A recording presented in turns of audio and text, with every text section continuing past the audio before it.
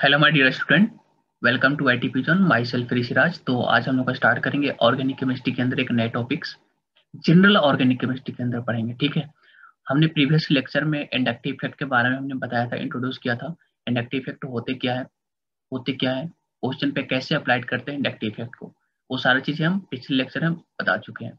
तो आज का जो मेरा लेक्चर होगा, वो जनरल ऑर्गेनिक केमिस्ट्री के अंदर ही हम लोग पढ़ेंगे types of inductive effect actually inductive effect कितने टाइप्स का होता है, ठीक है? तो लेटेस्ट वीडियो को स्टार्ट करते हैं। तो देखो, यहाँ पे टाइप्स ऑफ़ इंडक्टिव इफ़ेक्ट है। इंडक्टिव इफ़ेक्ट को आई से डिनोट करते हैं, ठीक है? ये पहले ही बता चुके हैं कि इंडक्टिव इफ़ेक्ट को आई से डिनोट करते हैं।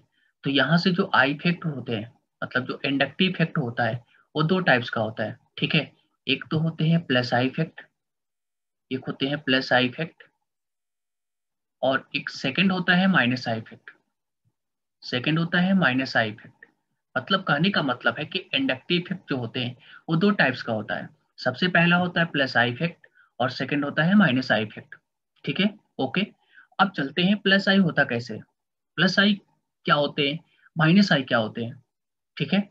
तो प्लस आई का मतलब होता है, जो जिस ग्रुप को इलेक्ट्रॉन देने की टेंडेंसी होता है।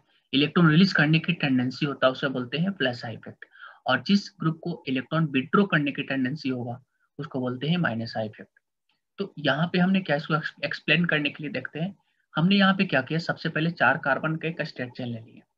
ठीक है? यहाँ से चार कार्बन का एक स्टेट चेन ले लिया। और इसके अंदर एक ग्रुप ऐड किया। ठीक है? जी का मतलब यहाँ पे एक ग्रुप है। और ये जो ग्रुप है, वो इलेक्ट्रॉन डोनेटिंग ग्रुप है। या इलेक्ट्रॉन डोनेटिंग ग्रुप है। या इलेक्ट्रॉन रिलीजिंग ग्रुप है।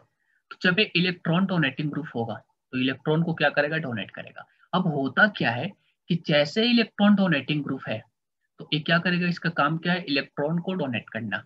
तो यहाँ पे जी ने अपना इलेक्ट्रॉन डोनेट किया इस चैन के अंदर। यहाँ पे एक चार कार्बन का हम एक स्टेट चैन लेंगे। क्लियर है? अब यहाँ पे देखें कि ये जो ग्रुप है, उसने कार्बन चैन के अंदर इलेक्ट्रॉन डोनेट किया। तो जो इलेक्ट्रॉन को डोनेट करता है मतलब जो इलेक्ट्रॉन को देता है उस पर होते हैं डेल प्लस। और यहाँ पे जो इलेक्ट्रॉन को एक्सेप्ट करता है, उस पर चार्ज होता है डेल माइनस। तो इस वाले कार्बन पे आ गया डेल माइनस। पहले देखो, जब इस पे चार्ज डेवलप नहीं हुआ था उस टाइम ये जो कार्बन था न्यूट्रल था, इस पे कोई चार्ज नहीं थी। लेकिन अब इस कार्बन पे निगेटिव चार्ज आ गया। इसका मतलब इलेक्ट्रॉन को ये भी डोनेट करेगा। तो ये जो कार्बन पे जो निगेटिव चार्ज है, ये पास वाले को इलेक्ट्रॉन डोनेट किया। तो जैसे ही पास वाले को इलेक्ट्रॉन डोनेट करेगा तो यहाँ पे आ गया डबल डेल माइनस नेक्स्ट यहाँ पे जो कार्बन एटम है, ये भी इलेक्ट्रॉन को डोनेट किया तो यहाँ पे ट्रिपल डेल माइनस आ गया। नेक्स्ट जो कार्बन है, ये भी इलेक्ट्रॉन को डोनेट किया। जैसे इलेक्ट्रॉन को डोनेट किया तो यहाँ पे tetra del four time del plus आ गया। अब यहाँ से होता क्या है कि सपोज़ मानते हैं, हमने जो ये कार्बन है, इस कार्बन को सी कार्बन माने, इसको सी कार्बन मानते हैं, इसको सी मानते हैं, और इसे सी कार्बन माने। अब यहाँ पे देखो जो सी वन कार्बन है, इसके और जी ग्रुप के बीच का डिस्टेंस सपोज़ इतना है। सेकेंड में सी टू और जी के बीच का ग्रुप इतना है। थर्ड में चेक करो सी थ्री कार्बन और इस ग्रुप के बीच का डिस्टेंस इतना है। और सी फोर और इस ग्रुप के बीच का डिस्टेंस इतना है। अब हमने इसमें फाइंड क्या करना है कि ग्रुप इलेक्ट्रॉन डोनेटिंग है। मतलब ये जो ग्रुप है, वो इलेक्ट्रॉन डोनेटिंग है। मतलब इलेक्ट्रॉन कार्बन चैन के अंदर इलेक्ट्रॉन को डोनेट कर रहा है। तो जब इलेक्ट्रॉन को दे रहा है तो इस पर डेल प्लस है। और इसके अंदर क्या आ गया? Del minus. ठीक है?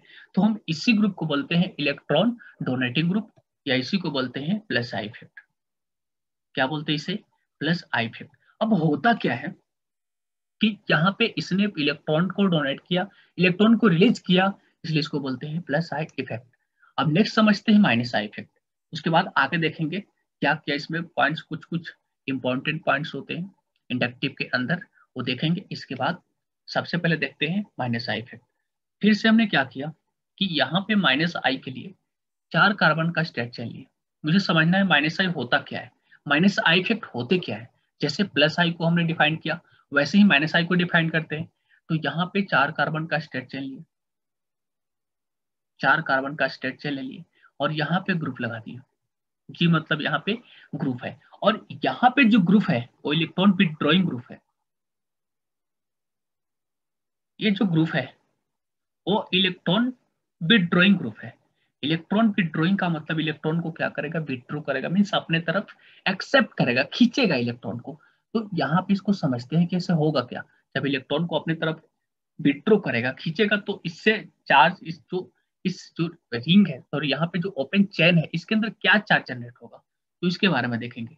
तो देखो यहाँ पे, हमने क्या किया? यहाँ पे एक इलेक्ट्रॉन विड्रोइंग ग्रुप लगाया जैसे इलेक्ट्रॉन विड्रोइंग ग्रुप है इलेक्ट्रॉन को अपने तरफ़ खींचेगा, ठीक है, विड्रो करेगा। तो जो इलेक्ट्रॉन को लेता है, सिंपली, उस पर आता है टेल माइनस सिंपली हम कर सकते हैं, सिंपल तरीके से, जो इलेक्ट्रॉन को एक्सेप्ट करता है, उस पर होता है डेल माइनस और जो इलेक्ट्रॉन को रिलीज़ करता है, उस पर होता है डेल प्लस तो यहाँ पे जी ग्रुप था, इस पे आ गया डेल माइनस और कार्बन ने इलेक्ट्रॉन को डोनेट किया, ठीक है? कार्बन से इलेक्ट्रॉन को क्या किया? विड्रो किया तो कार्बन पे क्या आएगा? डेल प्लस क्लियर है? अब यहाँ पे होता क्या है? पहले ग्रुप नहीं था तो न्यूट्रल था।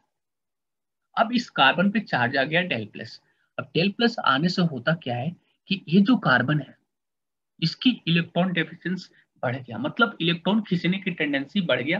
पहले न्यूट्रल था, पहले इसका ऑक्टेट कंप्लीट था बट अब चार्ज आने से इसका ऑक्टेट क्या हो गया? इनकम्प्लीट हो गया। जैसे इसका ऑक्टेट इनकम्प्लीट हो गया तो ये क्या करेगा? इसको इलेक्ट्रॉन खींचने की टेंडेंसी बढ़ गया। तो ये क्या किया? पास वाले से इलेक्ट्रॉन विड्रो किया। जैसे ही पास वाले से इलेक्ट्रॉन विड्रो करेगा तो इस पर आ गया डबल डेल प्लस इसने भी पास वाले से इलेक्ट्रॉन विड्रो किया।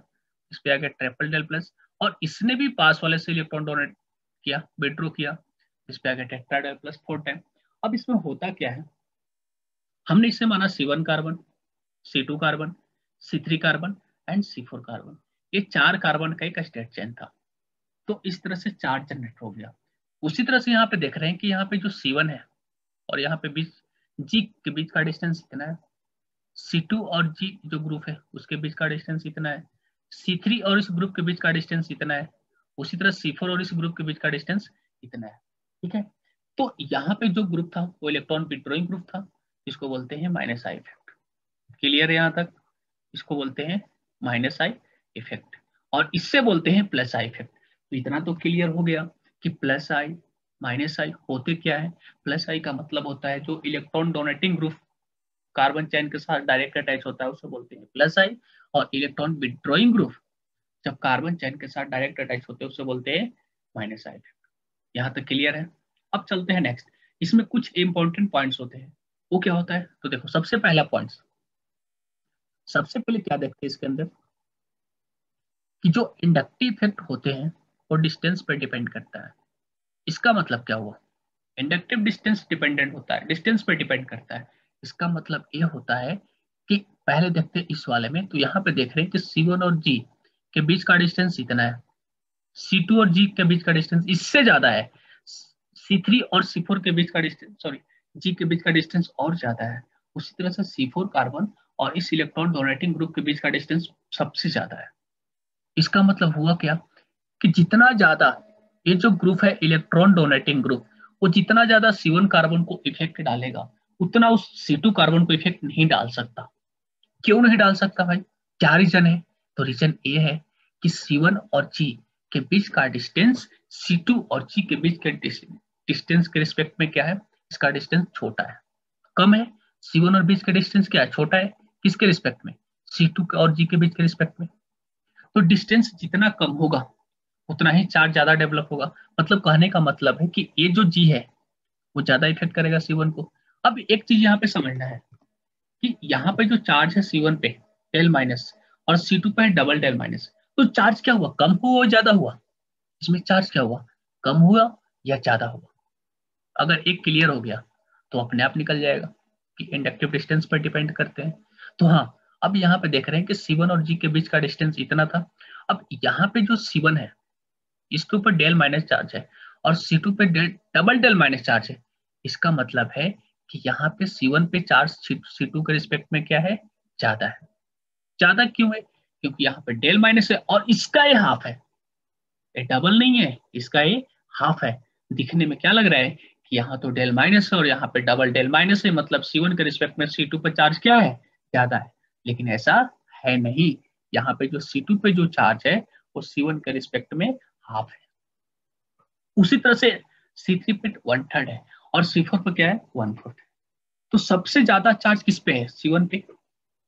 ठीक है? तो जितना ज़्यादा चार्ज होगा सी वन पे ज़्यादा चार्ज है। तो अब यहाँ पे सी वन और जी के बीच का डिस्टेंस देखने बहुत कम है। इसका मतलब इस पे इंडक्टिव ज़्यादा लगेगा। उसी तरह से सी टू और जी के बीच का डिस्टेंस सी वन के रिस्पेक्ट में थोड़ा ज़्यादा है। डिस्टेंस इसका ज़्यादा है। तो जब इसका डिस्टेंस ज़्यादा है तो इस पे इंडक्टिव क्या होगा? सी वन के रिस्पेक्ट में कम लगेगा। सबसे कम इंडक्टिव किस पे लगेगा? सी फोर पे। लगेगा ना, क्योंकि इसका डिस्टेंस बहुत ज़्यादा है। क्लियर यहाँ तक? अब एक चीज़ इसमें आती है कि जो सी फोर कार्बन होते हैं मतलब इंडक्टिव इफ़ेक्ट तो थ्री कार्बन तक ही बुक्स में भी देखा होगा, कहीं कहीं पे, कि जो इंडक्टिव इफ़ेक्ट एक्सप्लेन होता है प्लस आई या माइनस आई वो सी थ्री कार्बन तक ही होते हैं, तीन कार्बन तक। तीन कार्बन के बाद जो चौथे कार्बन पे चलते हैं फोर्थ कार्बन पे चलते हैं तो वहाँ पे इंडक्टिव नेग्लेजेबल हो जाता है मीन्स ज़ीरो के बराबर हो जाता है। मतलब सी फोर पर इंडक्टिव इफ़ेक्ट हम चेक नहीं करते इंडक्टिव इफ़ेक्ट तीन कार्बन तक ही चेक कर सकते हैं। फोर्थ कार्बन पे इंडक्टिव नहीं होता है। क्लियर है यहाँ तक? तो यहाँ पे देखिए क्या, कि इंडक्टिव इफ़ेक्ट डिस्टेंस पर डिपेंड करता है। तो यहाँ पे लिखेंगे inductive effect inductive effect depend upon distance इसका मतलब है कि इंडक्टिव जो होते हैं, वो डिस्टेंस पर डिपेंड करते हैं। डिस्टेंस डिपेंडेंट होता है, इसका मतलब डिस्टेंस कम होगा इंडक्टिव ज़्यादा लगेगा डिस्टेंस ज़्यादा होगा इंडक्टिव कम लगेगा। उसी तरह से यहाँ पे देखिए इलेक्ट्रॉन विड्रॉइंग ग्रुप में सी और जी के बीच का डिस्टेंस कम था तो यहाँ पे भी इंडक्टिव ज़्यादा होगा। सी और सी के बीच सी और जी के बीच का डिस्टेंस थोड़ा ज़्यादा है सी के रिस्पेक्ट में तो यहाँ पे क्या होगा इंडक्टिव कम लगेगा। समझ में आया? इसलिए पहला पॉइंट हमने देखा कि जो इंडक्टिव इफ़ेक्ट होते हैं, वो डिस्टेंस पर डिपेंड करता है। Second point in after four carbon ठीक है? After four carbon inductive effect will be negligible मतलब चार कार्बन तक तो हम लेते भी नहीं है। तीन कार्बन तक ही देखते हैं। लेकिन चार कार्बन के बाद जो पांचवे जो कार्बन होते हैं फिफ्थ कार्बन उस पर इंडक्टिव चेक ही नहीं किया जाता है। ऐसे तो फोर्थ तक ही चेक नहीं करते। थ्री तक ही चेक करते हैं। तो यहाँ पे लिखेंगे after four carbon after four carbon and I effect I effect will be negligible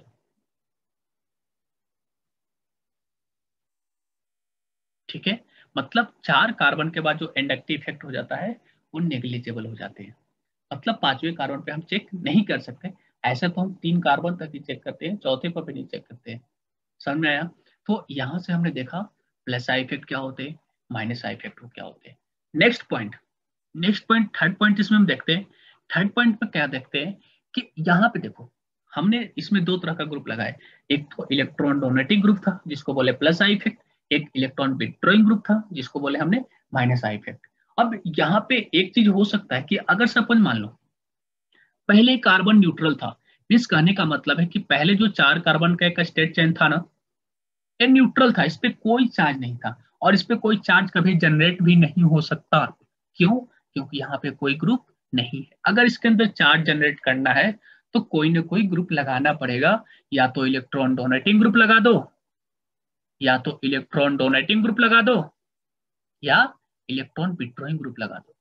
मतलब इस चैन के साथ कोई ना कोई ग्रुप लगाना ही पड़ेगा। तो जैसे इस ग्रुप को लगाएँगे तो इसके अंदर क्या होगा? चार्ज जनरेट होगा। पहले न्यूट्रल था बट ग्रुप लगने से क्या हो गया इसके अंदर? चार्ज डेवलप हो गया। अब देखते क्या है कि अगर सपोज़ मान लो, यहाँ पे इसके साथ, इस चार कार्बन चैन के साथ हमने इलेक्ट्रॉन डोनेटिंग ग्रुप लगाया। तो जैसे हम इलेक्ट्रॉन डोनेटिंग ग्रुप लगाएँगे तो इलेक्ट्रॉन को डोनेट करेगा। तो जब इलेक्ट्रॉन को डोनेट करेगा, इसका मतलब है कि जो देता है उस पर प्लस चार्ज होता है और जो लेता है उस पर माइनस चार्ज होता है। तो यहाँ पे देखें कि जी ने इलेक्ट्रॉन डोनेट किया तो इस चैन के अंदर निगेटिव चार्ज हुआ।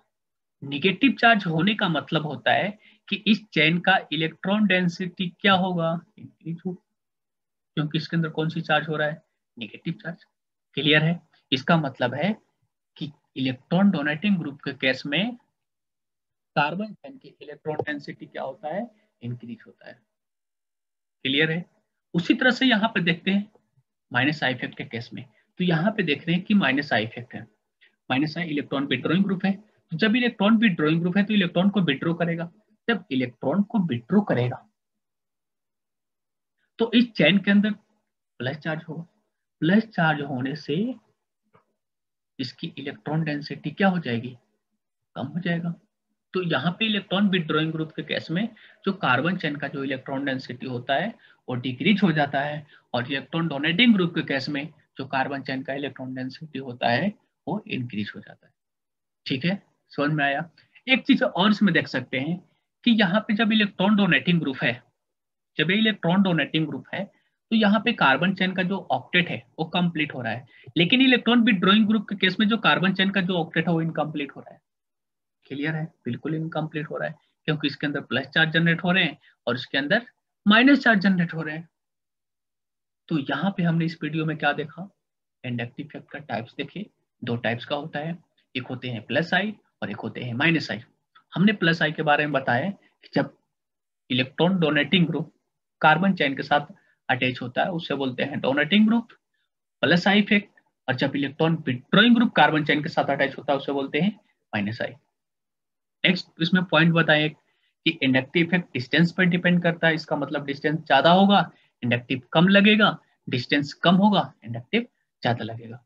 नेक्स्ट पॉइंट जिसमें हमने बताया कि जो इलेक्ट्रॉन डोनेटिंग ग्रुप के केस में जो कार्बन चैन का जो इलेक्ट्रॉन डेंसिटी होता है, वो इंक्रीज होता है और इलेक्ट्रॉन विड्रॉइंग ग्रुप के केस में जो कार्बन चैन का जो इलेक्ट्रॉन डेंसिटी होता है, वो डिक्रीज होता है। ठीक है? तो आज का लेक्चर ये था। अगर आप लोग की वीडियो अच्छी लगी तो प्लीज़ लाइक करें सब्सक्राइब करें एंड शेयर करें। Okay thank you